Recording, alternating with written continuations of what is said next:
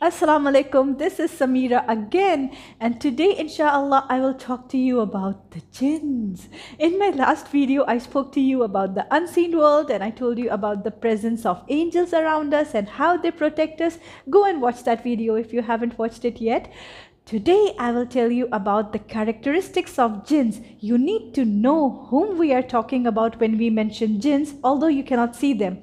Uh, jinns are indeed a very important topic because Allah named a whole chapter in Quran after jinns and it is called Surah Al-Jinn. To understand jinns, you need to know that number one, they are free-willed. Just like you and me, they can also choose between doing right or doing the wrong, wrong thing. Unlike the angels, angels do only what Allah commands them to do. But as I just said that jinns, no, they choose between the right and wrong. This also means that some jinns choose to do the good things, they are good jinns, they are righteous jinns, and some jinns choose to do the bad things, they are bad jinns, and bad jinns are called shayateen. Many jinns are shayateen, many bad jinns are shayateen, and one bad jinn is shaitan. What else? Allah tells us that jinns are made of smokeless fire and we know that uh, jinns get married just like us. They have children, they have families, they become old, they die. Jinns also speak different languages. They are from different regions. Jinns follow different religions as well. Did you know that? Um, now, let me talk to you about Iblis. Who is Iblis? Iblis is the first jinn created by Allah all the other jinns are his children. So Iblis is the father of the jinn kind. And um, Iblis is, is he a good jinn or a bad jinn? I need to ask you. He is a very bad jinn. Uh, in the beginning, he used to be a good jinn and then he became a bad jinn. Inshallah, in my next video, I will share his story in detail. It's a very nice story and you will understand so many things after knowing that story. Now coming back to jinns. Um, Iblis is granted with a very long life. Iblis was made before Adam salam. He was created by Allah before Allah created the first mankind. He is alive until today and that's not it. He is going to live until the end of the world. He prayed to Allah, he asked for time and Allah granted him time. Um, I'll tell you this in much more detail in another video inshallah. Now coming back to jinns. Allah tells us in Quran that jinns can see us but we cannot see jinns. Hmm, does that mean we need to fear them? Not at all. I'll recite a verse from Surah Al-Imran for you.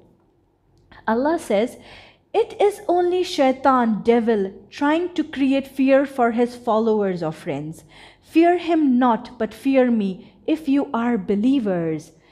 Allah is saying, is giving us the great news that do not fear the jinn, fear only Allah. Um, see, Allah is the one who created you, who created me, who created the jinns as well. So Allah knows the best. And if Allah is saying that don't be scared of jinns, you really don't have to be scared of jinns. Jinns are not something to be afraid of. Alhamdulillah that Allah made them in such a way that we don't have to be scared of them.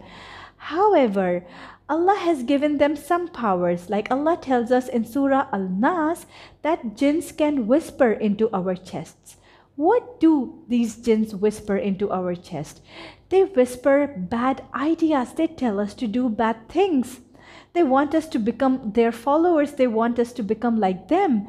And here, coming back to the previous surah, previous ayah from Surah Al-Imran, Allah tells us that fear them not, fear me.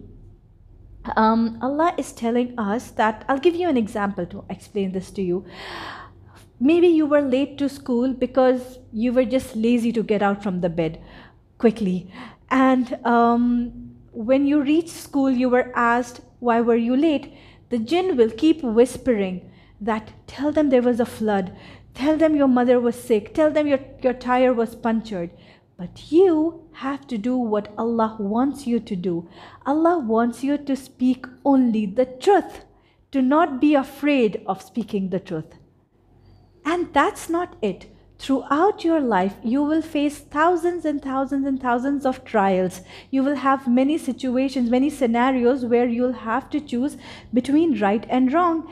And um, sometimes doing the right thing might seem like doing the difficult thing, doing the hard thing.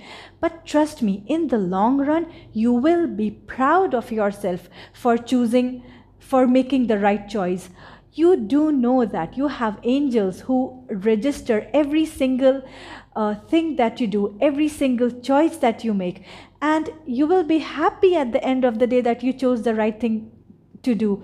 Uh, you'll grow up, you'll become teens. You might have friends who might want you to join them in discos. You might have friends who might want you to join you you to join them in drugs and smoking and, and so many bad things but you have the brains. Allah has given you enough intelligence to think before you make the choice, to think before you take the action. Right? Isn't it?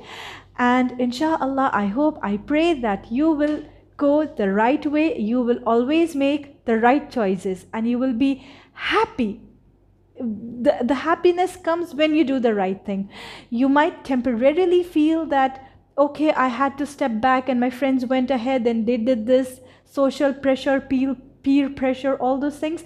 But at the end, trust me, you will be happy for what you did.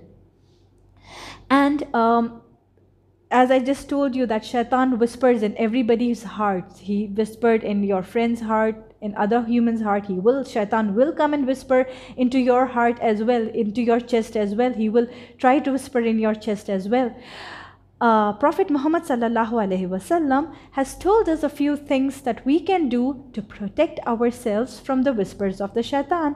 Number one, the easiest thing that you can do is just seek refuge in Allah. Just say, A'udhu billahi minash shaitanir rajim. This means that I seek refuge in Allah from shaitan, the cursed one, from shaitan, the outcast. Very easy to say, A'udhu billahi minash shaitanir rajim. Another thing you can do is uh, if you haven't memorized uh, uh, Ayat al Kursi, you should, you must do it as soon as possible. Prophet Muhammad said, These are very powerful verses against shaitan. It's a powerful protection against shaitan. And uh, what else? Uh, the three, the last three surahs in Quran, قل أعوذ برب Surah Al-Ikhlas, uh, Surah Al-Nas and Surah Al-Falaq. These three surahs, if recited at dawn, is if recited at Fajr time, they protect you until sunset. And if you recite these three at sunset, they protect you until the next sunrise. So it's like a 24 hours protection. Very doable. And apart from that, uh, Muhammad sallallahu alaihi wasallam said, especially children should not go out at Maghrib time, at the time of sunset, because this is the time when shaitan are out. So stay indoors, stay safe. Another thing, um, before you sleep, adhkar al naum, that means zikr of Allah before sleeping, remembering Allah before your sleep. Uh, there are many things, but I'll just tell you three easy ones that you can do um, to protect to protect yourself against the shaitan. Uh, number one, recite Ayatul Kursi before you sleep. It only takes one minute. Uh, number two, you can recite uh, the last three surahs of Quran, the ones I just mentioned, Surah Al-Ikhlas, Surah Al-Nas, and Surah Al-Falaq. Prophet Muhammad sallallahu alaihi wasallam used to uh, recite these surahs into his hand, and then he would blow into his hand and then wipe his hand on his head, face, front of his body or wherever his hands could reach. This is again uh, protection against shaitan.